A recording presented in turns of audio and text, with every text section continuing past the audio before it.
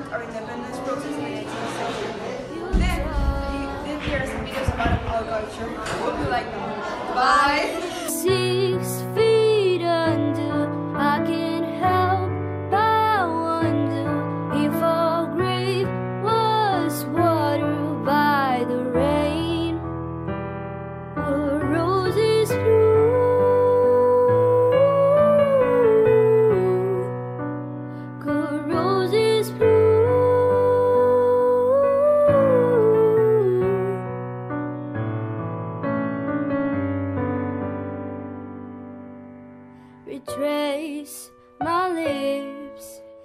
Erase your touch. It's all too much for me. Blow away like smoke in air. How can you die carelessly? Our love is six feet under. I can't In the 16th century, Charles V, King of Spain, gave Pedro de Mendoza the title of Governor General of the Rio de la Plata. This means that he could start a public enterprise in America.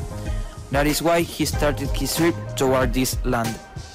He disembarked here in the year 1536 with an expedition. They built a fort where there was also a port. He named this Nuestra Señora Santa María del Buen Aire. This settlement soon fell victim to local aborigines and lack of supplies, and the survivors had to retreat up the Paraná River to the fortified settlement of Asunción, now capital city of Paraguay. Nearly 50 years later, Juan de Garay led a better expedition back to the site, and there, near the port of Santa Maria del Buen Aire, at the mouth of the Riachuelo River, he founded a city, which he called Ciudad de Trinidad, City of Trinidad, on May 29, 1580. Huge pieces of land were given to members of the expedition where they began to grow crops and have animals. Most of these animals had been left by Pedro de Mendoza's party, and for about two centuries, Buenos Aires grew slowly. It was a big port, but it was far away from main cities of the Viceroyalty.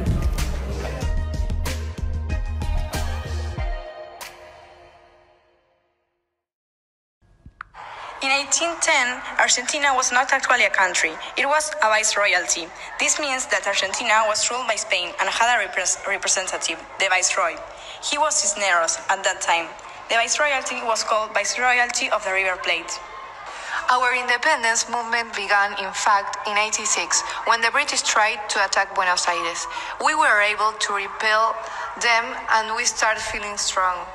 But it was also important, as everywhere in Spanish America, the invasion of Napoleon in Spain. Napoleon replaced his brother Joseph Bonaparte on the throne of Spain and exiled Ferdinand VII, the real king. Spain was under the control of France, but we didn't want to be controlled by France, so we started meeting in secret groups to decide whether to be independent. In this way, we were showing our loyalty to the king. In 1810, we asked the authorities for an open cabildo. The cabildo was a Spanish institution which had existed in all the colonies since the 16th century.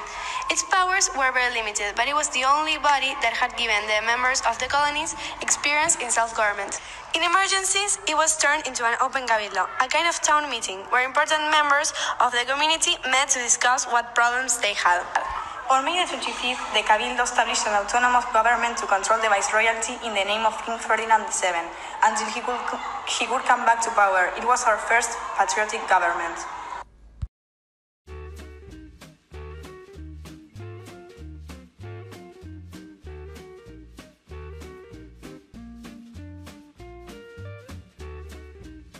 In Tucumán, on July 9, 1816, Argentina was declared an independent country from Spain. But how did this happen?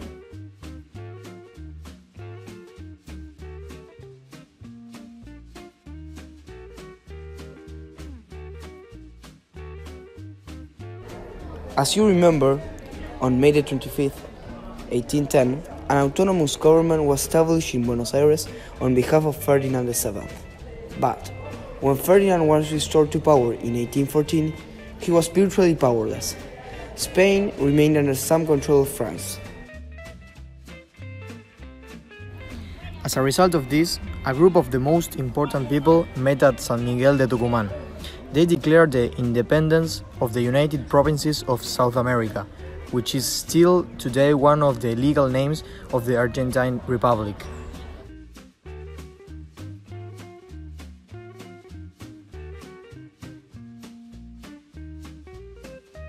The independence was declared in the Casa de Tucumán, located in San Miguel de Tucumán, capital city of the province of Tucumán. This city is 1200 kilometers away from Buenos Aires. This is like going from Dhaka to Agra in India.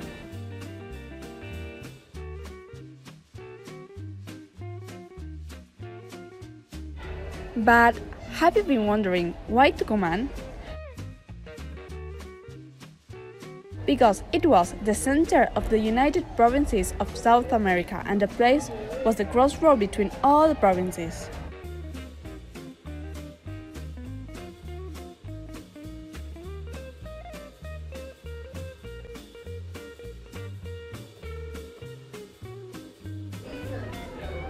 Twenty-nine deputies were in charge of organizing the Declaration of Independence.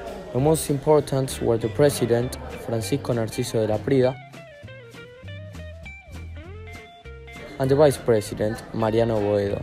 The deputies who signed this declaration were from almost every province of the Viceroyalty of River Plate, except from the ones from Alto Peru, now Bolivia, and the ones from the Banda Oriental, now Uruguay, due to political conflict.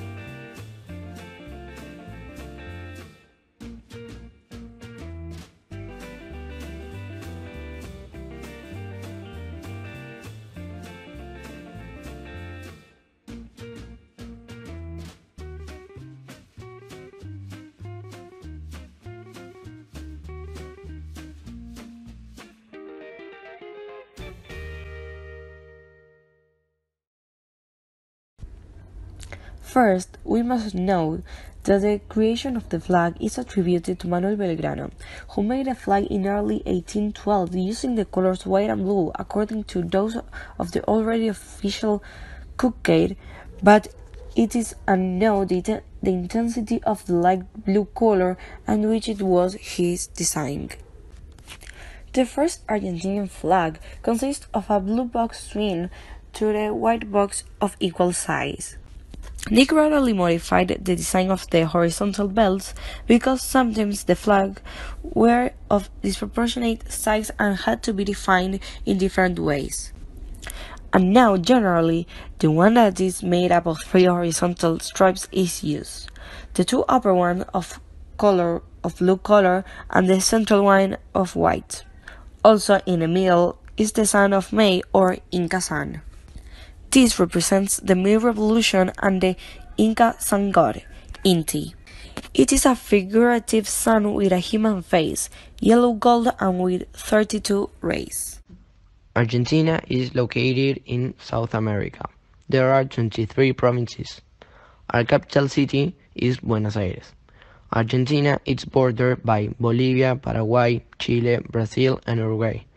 It is the eighth largest, largest country in the world. Due to its great latitudinal development, Argentina has the three types of climate cold in the south, warm in the center, and hot in the north. At the west, next to Chile, we can find the Andes Mountains. We can also find a lot of biomes, such as rainforest in the northeast, the fertile grassland of the central pampas in the center, the glaciers at the south, and much more. The eastern part is next to the Argentinian Sea. In Misiones, in the north, we can find one of the wonders of the world, the Iguazu Falls. Argentina is the closest country to the South Pole. On 1942, the ceiba flower was officially declared as a national symbol. This red flower belongs from a tree whose branches have thorns, eh, and this flower it had his own legend that it was made by the original people from America. We are going to talk about food because we want you to know more about our traditional food like empanadas that we have been enjoying since the time of the colony. To make empanadas, you first have to cut vegetables such as onions and sweet peppers.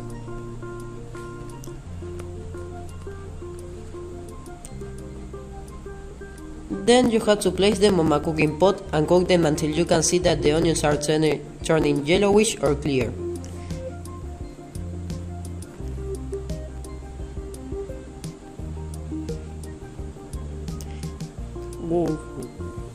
Once the vegetables are cooked, you have to add the meat, around 1 kilo of meat per every kilo of onions. Cook it until all the meat turns brown. You can also add boiled eggs if you want to.